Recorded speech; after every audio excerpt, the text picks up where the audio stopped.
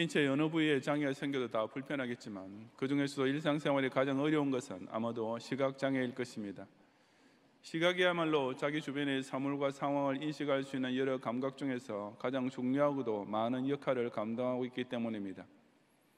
적인 체 모든 감각 수용체 중에서 70% 가량이 눈에 있는데 그로 인해 인간이 하루에 보고 기억하는 평균 1만 개 이상의 이미지를 뇌에서 처리하는 과정에서도 대뇌 폐질의 절반이 시각에 관여하고 있다고 합니다. 이처럼 오감 중에서도 가장 중요한 것이 시각이라고 하시는데 우리 예수님께서도 그와 비슷한 말씀을 하신 적이 있었습니다. 바로 본문 22절과 23절에서 눈은 몸의 등불이니 그러므로 내 눈이 성하면 온 몸이 밝을 것이요 눈이 나쁘면 온 몸이 어두울 것이니 그러므로 내게는 빛이 어두우면 그 어둠이 얼마나 더하겠느냐라고 기록된 말씀입니다. 눈은 몸의 등불이니라는 말씀은 사람의 몸 안은 피부로 덮여있기 때문에 빛이 차단되어 어두운 상태이지만 눈이 있음으로 해서 바깥 세계의 빛이 몸 안으로 들어올 수 있음을 가리킵니다. 과학적인 언어를 빌린다면 빛이 각막을 통과하고 수정체를 통해 상을 만들어 망막에 닿으면 그것이 시신경을 통해 뇌로 전달됨으로써 사람은 비로소 몸 바깥 세계에 있는 빛을 감각하여 볼 수 있게 되는 것입니다. 내 눈이 성하면 온몸이 밝을 것이요 눈이 나쁘면 온몸이 어두울 것이니라는 말씀도 그런 맥락으로서 눈이 볼 수 있어야 온몸이 그 본 것에 따라 판단하고 반응하고 활동할 수 있다는 뜻입니다. 사물이 눈에 안 보이면 손으로 그것을 정확하게 집을 수 없고 길이 눈에 안 보이면 발도 그것을 따라 안전하고 똑바르게 걸어갈 수 없지 않습니까? 그야말로 눈이 나쁘면 온몸이 같이 어두울 수밖에 없는 것입니다. 하지만 예수님께서 이런 말씀을 무슨 안과 의학적 의미에서 하신 것은 물론 아닙니다. 그것은 23절 하반절에서 그러므로 내게는 빛이 어두우면 그 어둠이 얼마나 더하겠느냐라는 말씀에서 분명히 드러납니다.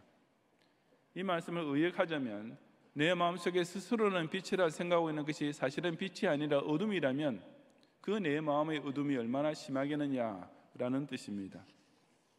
사람의 마음은 본질적으로 타락한 상태에 있으므로 그 자체만으로는 몸 안과 마찬가지로 깜깜할 수밖에 없고 따라서 반드시 외부의 근원으로부터 빛을 받아야만 그 마음이 밝아질 수 있습니다.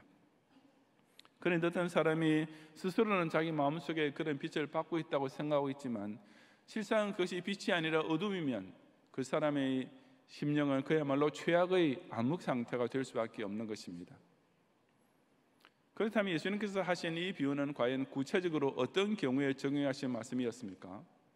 그것은 이 22절과 23절 바로 앞에 나오는 19절부터 21절까지 말씀과 바로 뒤에 따라오는 24절 말씀의 문맥을 보면 알 수 있는데 그 공통적 주제는 곧 신자의 물질관입니다. 예수님께서 재물에 대해 말씀하시다가 밑도 끝도 없이 갑자기 눈 건강에 대해서 말씀하시고 또다시 재물로 돌아가셔서 말씀하실 리가 만무하지 않겠습니까? 그러므로 22절과 23절 말씀은 앞뒤의 내용을 아주 강조하여 강화하기 위한 비유임이 분명합니다. 즉 이것은 물질관이 잘못되어 있는 사람은 눈이 어두워서 온몸도 어두운 사람, 즉 그 심령이 장님처럼 되어서 그 인생 전체가 다 깜깜한 흑암 속에 헤매고 있는 사람이라는 단도직입적인 말씀입니다. 다시 말해서 지금 예수님께서는 사람이 자기 스스로는 옳은 판단을 내리며 바르게 행동하고 있다 자부하더라도 만약 그의 물질관이 잘못되어 있으면 그 인생 전체가 실상은 다 어두움 속에서의 오판과 시행착오의 반복이 될 뿐이라고 엄중히 선포하시는 것입니다. 이 시간 저는 우리 예수님의 가르침을 통해 바른 물질관을 가짐으로써 그 마음과 생활 전체가 밝은 빛을 따라가게 되는 성도의 삶이 구체적으로 어떤 것인지를 함께 상고해 보고자 합니다. 첫째, 천당에 자기 마음이 보이는 신자는 재물을 땅에 축적하지 않고 장차 받을 상급을 위해 선용합니다. 19절부터 21절까지 함께 봉독하겠습니다. 너희를 위하여 보물을 땅에 쌓아두지 말라. 거기는 좀과 동록이 해하며 도둑이 구멍을 뚫고 도둑질하느니라 오직 너희를 위하여 보물을 하늘에 쌓아두라 거기는 좀이나 동록이 해하지 못하며 도둑이 구멍을 뚫지도 못하고 도둑질도 못하느니라 내 보물 있는 그곳에는 내 마음도 있느니라 아멘 여기서 보물이란 꼭 금은 보화만 가리키는 것이 아니라 재물 전체를 통칭하는 표현으로서 특히 사람이라면 누구나 다 귀하게 여기는 것이 바로 재물임을 강조합니다. 하지만 그렇다고 해서 너를 위해 보물을 땅에 쌓아두지 말라는 말씀이 무슨 황금 버기를 돌같이 하라는 따위의 뜻은 결코 아닙니다. 성경은 어디에서도 재물 자체를 무가치하게 여기거나 부정하다고 가르치는 곳이 없으며 본문에서 예수님 역시 마찬가지입니다. 이 말씀의 요점은 그 재물을 땅에 쌓아두지 말라. 즉 세상에서 재물 축적하는 것을 자기 인생의 목표로 삼지 말라는 것입니다. 그 이유는 그처럼 땅에만 쌓아놓은 재물은 반드시 없어지는 날이 오기 때문입니다. 거기는 저이 세상은 우선 조미해야 하는 곳입니다. 옷은 당시 유대 사회에서는 재산 가치가 있는 동산에 해당되었는데 그 옷을 상하게 만드는 것이 바로 조미란 벌레입니다. 동록은 굴이나 구리 합품 등에 쓸때 생기는 푸른 빛의 물질로 금속을 부식시킵니다. 즉 당시 화표로 사용되던 동전 역시 쌓아두면 녹이 슬어 영구히 보존되는 재산은 될 수 없음을 뜻하는 비유입니다. 도둑은 예나 지금이나 마찬가지로 사람이 자기 재물을 억울하게 잃게 되는 대표적인 원인입니다. 특히 당시의 집은 진흙이나 흙벽돌로 벽을 만들었기 때문에 도둑이 구멍을 뚫고 들어와 도둑질을 하기가 쉬웠습니다. 이처럼 사람의 재물을 이 세상에 쌓아두고 모아놓으면 그것을 고스란히 잃어버리게 될 위험이 곳곳에 산재해 있습니다. 길 가다가 소매치기에게 속절없이 빼앗기기도 하고 소위 보이스 피싱이란 사기를 당해 어처구니 없게 자기 손으로 계좌 이체해서 보내기도 하고 투자했던 주식 종목이 폭락하면 그야말로 한 방에 재산을 다 날려버리고 말 때도 있는 것입니다. 실로 이 세상에는 아깝게 없어지는 돈, 억울하게 잃는 돈, 혹은 밑빠진 독에 물 붓듯이 어떻게 사라지는지도 모르게 술술 새면서 낭비되는 재물이 얼마나 많습니까? 그는 땅과는 대조적으로 그 쌓아둔 재물을 그 무엇도 해하지 못하며 그 누구도 도둑질 못하는 곳이 있습니다. 예수님께서는 그곳이 바로 하늘이라고 하시면서 그곳에 자신의 보물을 쌓아두라고 아예 명령을 내리셨습니다. 하늘 즉 천당이야말로 정말이지 저축을 한다면 가장 안전하고 확실한 장소라고 예수님께서 친히 보장해 주신 것입니다. 그렇다면 너희를 위하여 보물을 하늘에 쌓아두라는 말씀은 과연 무슨 뜻이겠습니까? 이것은 자신이 구원을 받을 수 있도록 무슨 공로의 포인트 따위를 정리받는 뜻이 결코 아닙니다. 이 말씀은 이미 구원의 확신을 얻은 신자라면 이제 자기 재물을 하나님께서 기뻐하시는 선한 일, 하나님께서 인정해 주시는 의로운 일을 위해 선용해야 한다는 의미입니다. 요한계시록 14장 13절에 지금 이후로 주 안에서 죽는 자들은 복이 도다 하심에 성경이 이르시되 그러하다 그들이 수고를 그치고 쉬리니 이는 그들의 행한 일이 따름이라 하시더라고 말씀했습니다. 신자가 죽은 후에 가게 될 천당은 그들의 행한 일, 즉 그의 세상에서 힘썼던 수고가 결코 그대로 없어져 버리지 않고 고스란히 따라오는 곳입니다.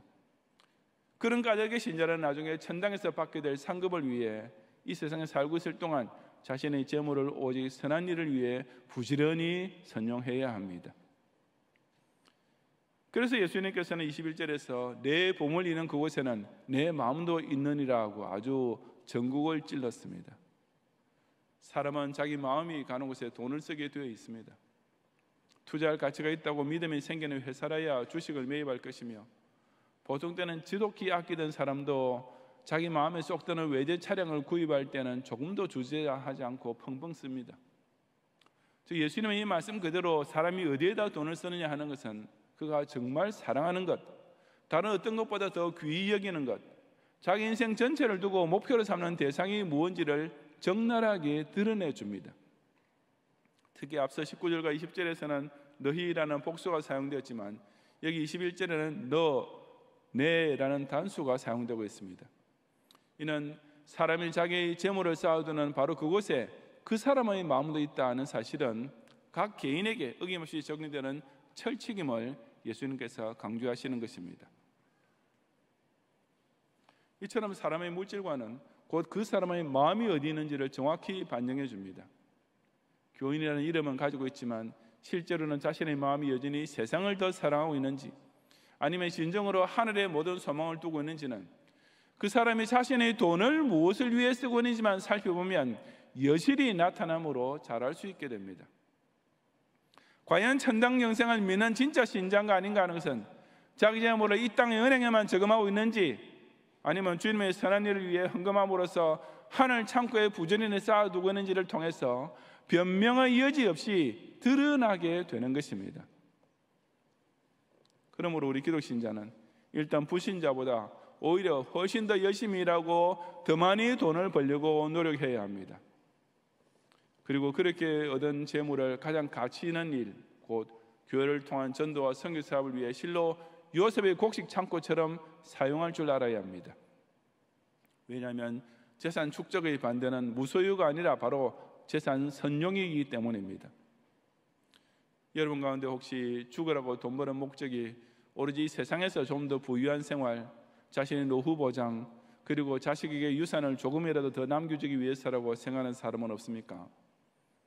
예수님께서는 그것이 곧 눈먼 사람의 사고방식이라고 지적하십니다. 월급 받은 후 일단 온전한 11조부터 하느님께 바칠 생각은 전혀 없고 그저 어떻게 해서라도 생활비를 아껴 써서 조금이라도 더 많이 저축해 두어야지라는 생각만 온통 차 있는 사람. 장사한 것의 순수익이 얼마나 되는지는 매월 정확히 계산하면서도 감사한금이나 특별 성경금을 기쁘게 바칠 마음은 털끝만큼도 없고 오로지 아직 내 힘이 있을 때 바짝 졸라매서 하미천 크게 잡아 놓아야지 라는 꿈만 머릿속에 그리고 있는 사람은 없습니까? 예수님께서는 바로 그런 사람을 두고 천당이 안 보이는 영적 장님이요 인생 전체가 깜깜절벽인 사람이라고 질책하시는 것입니다. 제가 미국 시카고에 있는 한 교회에서 한 청년 의사를 만나는데 그 친구와 재학 시절에 주유소에서 아르바이트를 한 적이 있었다고 합니다. 그런데 그 한인 사장이 명색이 교회 신자를 하면서도 매우 인색해서 월급도 짜게 주었을 뿐 아니라 성탄절이 되었는데도 직원에게 보너스 한 푼 줄 생각도 하지 않았다고 합니다. 그래서 그 친구가 어느 날 아예 작정을 하고 그 사장한테 아니 그렇게 번 돈 죽을 때 이고 가실랍니까? 지고 가실랍니까? 라는 말로 겨우 자극을 줘서 보너스를 좀 타는 적이 있었다고 합니다. 기도 신자라면서도 헌금에 인색한 교회는 죽을 때 그 돈을 그야말로 이고 가시려고 합니까? 지고 가시려고 합니까? 그처럼 땅에만 쌓아놓은 돈은 그 사람이 죽은 후에 그 자식들 사이에서 유산 분배로 분배 문제로 싸우고 소송하다가 평생 등지고 살게 만들 폭탄을 남겨놓는 그 외에 무슨 소용이 있겠습니까? 부신 형제나 자녀들이 관여에 바치는 소위 저승가는 노잣돈이라는 것조차 단 한 푼도 본인은 가져갈 수 없고 결국은 다 저, 전부 다 인부들 주머니로 들어가지 않습니까? 그 마음이 오직 세상에만 붙잡혀서 재물을 자기 손아귀에 쥐고 놓지 않으려는 어두운 인생이 되지 말고 진정 믿음의 눈으로 천당을 바라보기는 진자답게 하나님 나라를 위한 선한 일에 자신의 재물을 가장 가치 있게 선용함으로써 나중에 반드시 받게 될 영원한 상급을 하늘 창고에 부지런히 쌓아가는 성도가 되시기를 바랍니다. 둘째로 하나님만 인생의 주인으로 보이는 신자는 재물을 우상으로 삼지 않고 주님께 충성하는 수단으로 사용합니다. 24절을 함께 봉독하겠습니다. 한 사람이 두 주인을 섬기지 못할 것이니 혹 이를 미워하고 저를 사랑하거나 혹 이를 중히 여기고 저를 경히 여김이라 너희가 하나님과 재물을 겸하여 섬기지 못하느니라 아멘. 본문에서 예수님께서는 눈이 어두운 사람은 재물을 쌓아놓을 장소를 모르는 정도가 아니라 아예 하나님과 재물 중에 누가 자기 생명의 진정한 주인인지조차 인지할 줄 모른다고 하셨습니다. 본문에서 섬기다라고 번역된 말을 원문 그대로 직역하면 be a slave of 노예가 되다입니다. 저기 섬기다라는 번역은 원문의 어감에 비해 너무 완곡하게 되어 있습니다. 노예는 당연히 한 주인만 섬길 수 있지 결코 두 주인을 겸하여 섬길 수 없습니다. 그것도 자신의 모든 시간, 모든 힘을 다 바쳐서 문자 그대로 자기 인생 전체를 몽땅 다 오직 단 한 명뿐인 자기 주인을 위해서만 일해야 하는 존재가 바로 노예입니다. 그러므로 노예가 두 주인을 섬기는 것은 근본적으로 아예 그 말 자체가 성립될 수 없습니다. 만약 그런 노예가 있다 한다면 그는 분명히 이를 미워하고 저를 사랑하거나 혹 이를 중히 여기고 저를 경히 여기게 될 것이 틀림없습니다. 다시 말해서 겉으로는 두 주인을 똑같이 섬긴다고 하지만 그 속을 따져 따져 들어가 보면 역시 진짜 주인은 어디까지나 둘 중 하나밖에 없는 것이며 나머지 한쪽은 그저 섬기는 척 흉내만 내고 있을 뿐임이 분명한 것입니다. 예수님께서는 인간 사회에서도 철칙으로 통하는 이 원리가 바로 하나님과 재물을 두고서도 엄연히 적용된다고 하셨습니다. 세상에 그 누구라도 결코 하나님과 재물을 겸하여 섬기지 못한다라고 엄히 경고하신 것입니다. 이선 어디까지나 둘 중 하나의 선택이 있을 뿐이지 결코 양립할 수 있는 성질이 아니기 때문입니다. 그 어떤 특별한 경우에서도 그 어떤 피치 못할 상황이라 해도 사람이 하나님도 주인으로 모시고 재물도 똑같이 주인으로 섬길 방법이나 경우는 절대로 존재할 수 없는 것입니다. 그러므로 사람은 누구나 다 예외 없이 하나님과 재물 이 둘 중 하나만을 자기 인생의 주인으로 삼게 됩니다. 재물이 인생의 목표가 되어버린 사람에게 있어서 재물은 그 가장 사랑하고 귀중히 여기는 것, 즉 우상이 됩니다. 그것은 그 재물이 자기 주인이 되어버린 것과 똑같은 것 아니겠습니까? 그 결과 그는 이제 나머지 한쪽, 즉 하나님은 절로 미워하며 경히 여기는 부신자가 될 수밖에 없는 것입니다. 반면에 하나님만 자기 생명을 주인으로 모시고 있는 사람이 있어서 재물은 바로 그처럼 자기가 경외하고 사랑하는 주인을 섬기기 위한 수단이 될 뿐입니다. 그렇다면 명색은 신자를 하면서도 실제로는 돈을 더 사랑하고 있는 사람에게 하나님이란 과연 어떤 존재가 되겠습니까? 그런 사람은 하나님을 자기 인생의 목적인 돈을 더 많이 벌도록 도와줘야 할 종처럼 여기고 있는 것과 다를 바 없습니다. 당연히 하나님만 자신의 주인이 되고 재물이 그 주인 섬기는 거루한 수단이 되어야 할 텐데 그 순서를 완전히 뒤바꾸어 버리는 것입니다. 사실 재물이란 주인의 자리를 놓고 하나님과 감히 필적하거나 견줄 수조차 없는 비인격적 존재일 뿐입니다. 재물은 어디까지나 하나님이 만드신 것으로서 그것도 사람이 다스리도록 사람의 발날에 두신 피조물에 불과하기 때문입니다. 그런데도 사람이 자기가 종처럼 사용해야 할 재물을 하나님과 주인의 자리를 놓고 상대할 수 있는 라이벌처럼 여길 정도로 눈이 멀어 있다면 이 얼마나 불행하고 어처구니 없는 상태입니까? 여러분 가운데 혹시라도 하나님도 좋지만 돈도 똑같이 좋다라고 생각하는 사람이 있습니까? 하나님께 예배 드리는 것도 은혜롭지만 돈을 버는 것도 그에 못지않게 행복하다. 교회에서 예수님의 형제 자매들과 교제하는 것도 즐겁지만 유흥지에 가서 마음껏 즐기며 돈 쓰는 재미도 쏠쏠하다. 라고 생각하는 사람이 있습니까? 예수님께서는 그렇게는 절대 못한다 라고 잘라 말씀하십니다. 아니 그것은 실상 하나님을 대놓고 미워하며 경영하는 불신자와 50보 100보의 차이일 뿐이라고 단언하셨습니다. 이처럼 물질과는 그 사람의 신앙과 직결되어 있습니다. 그 사람이 정말 천당을 믿고 있으며 하나님을 경외하는 신자인가? 아니면 그저 하나님 믿는다는 모양만 내며 실제로는 오직 하나님 덕만 좀 보겠다는 심보로 교회 다니는 사람인가 하는 것은 바로 그 사람의 물질관에서 간단하게 드러납니다. 돈의 노예가 된 사람은 오로지 돈이 하라는 대로 하고 돈이 이끄는 대로 따라갈 뿐입니다. 그러니 그 돈이 원하는 일 위해서 하나님까지 자기 조수로 써먹으려 하는 것입니다.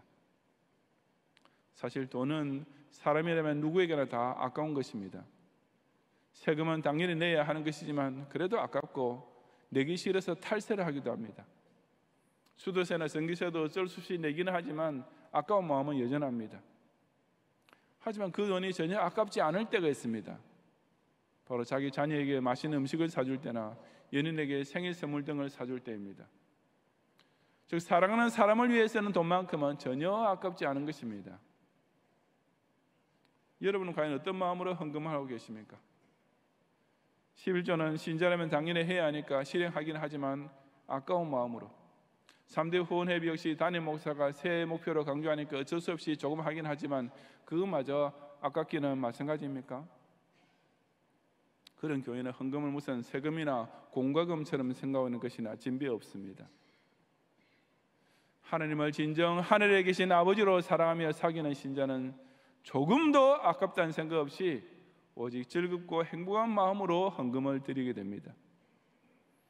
이 절대 주권자만을 자기 인생의 주인으로 두려워하며 모시는 진짜 신자는 그 하나님의 기뻐하시는 뜻을 수행하기 위해 몸과 마음과 정성과 힘을 다 동원하여 섬기게 됩니다.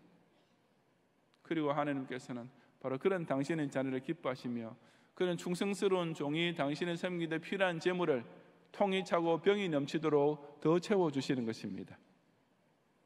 하나님 믿는다 하면서도 실제로는 재물을 주인으로 모시고 있는 위선자가 되지 말고 진정 하나님만을 자신의 금수와 내세의 유일한 주인으로 사랑하고 중히 여김으로써 하나님께서 절로 따라오게 해주시는 땅의 기업을 더 많이 받아 더 크게 하나님께 충성하는 성도가 되시기 바랍니다.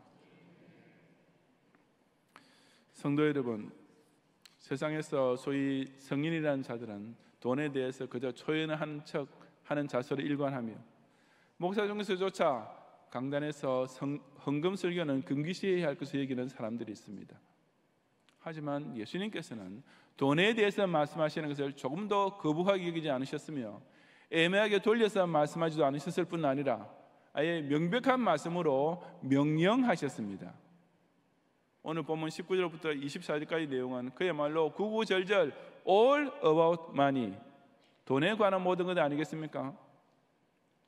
그것도 눈은 몸의 등불이라는 비유를 통해 물질관이 바로 되는 사람은 온 몸이 밝은 인생이지만 그렇지 못한 사람은 장님이나 다름없다라고 실로 쉽고도 적나라하게 가르쳐 주신 것입니다.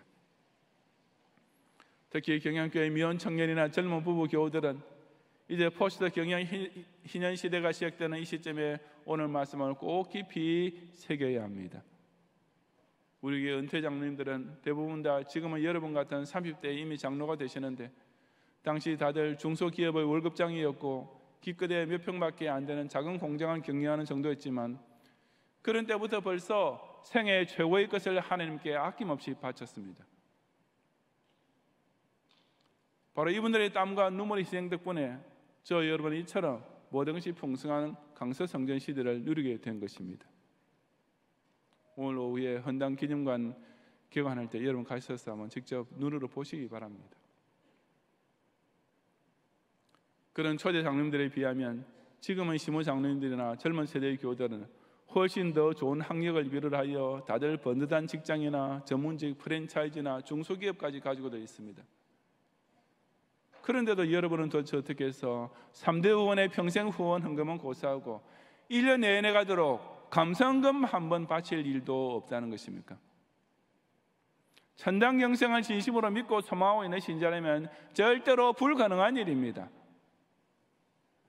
아무리 계산해 보아도 그때 초대 장님들의 형편보다는 몇 배나 더 나은 여러분이 어떻게 가장 기본적인 헌금이요 신자의 필수 의무인 11조 생활조차 아직 시작을 못하고 있습니까? 하느님을 정말 유일한 주인으로 모시고 있는 장로 집사 권사라면 도대체 어떻게 온전한 11조가 아닌 속이는 11조로서 하나님의 것을 도둑질하는 강심장을 그렇게 뻔뻔스럽게 드러내놓고 교회를 출입할 수 있습니까? 구참 변명 필요 없습니다. 예수를 믿는다고는 하지만 물질관이 깜깜하여 실상은 온몸이 어두운 사람입니다. 그러니 그처럼 버젓한 직장이나 사업장이 있으면서도 정성과 힘을 다해 헌금할 줄 모르는 경향의 이 세대 일부 교인들을 제가 보면서 앞으로 제 3대 담임 목사님께서 이 경영교회 장로로 세울 만한 사람이 과연 이어질 수 있을까 생각해보면 정말이지 저는 부끄럽고 미안하면서 눈앞이 깜깜합니다.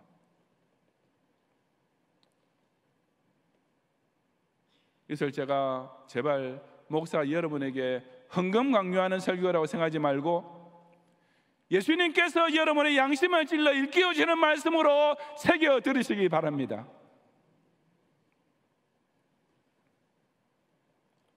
돈 많이 버는 것은 결코 저속한 일이 아니라 우리가 여세 동안에 힘써 행해야 할 일입니다. 그러나 그 돈을 하늘에 쌓아두지 않고 그저 땅에 모아두기만 하는 것으로 자기 인생 목표를 삼는 것은 명백한 죄입니다. 그 돈을 하나님보다 더 사랑하는 것은 그야말로 일만화의 뿌리이며 결국 자기를 스스로 찌르는 저주나 마찬가지입니다. 재물은 그 어떤 경우에도 인생의 목표가 될 수 없으며 사람의 주인이 되는 것은 더더구나 어림도 없습니다. 예수님께서 이 말씀을 부자 교회만 들으라고 하신 것이겠습니까? 아닙니다. 가난하든지 부하든지 간에 일단 물질관부터 바로잡혀 있어야 비로소 눈을 뜬 사람, 빛이 밝은 인생이 될 수 있습니다. 그래야만 후이되어서 나눠줄 줄 아는 그 축복의 가지가 담을 넘어가며 공중의 새들까지 기들게 되는 진짜 부자가 될 수 있습니다. 눈이 어두워서 온몸까지 어두운 배금주의 인생, 즉 돈 앞에 절하는 우상 숭배자가 되지 말고 참되고 유일한 주인이신 하나님을 더 잘 섬기는 수단으로 재물을 마음껏 선용할 줄 아는 축복의 청지기가 꼭 되시기를 주님의 이름으로 축원합니다. 아멘.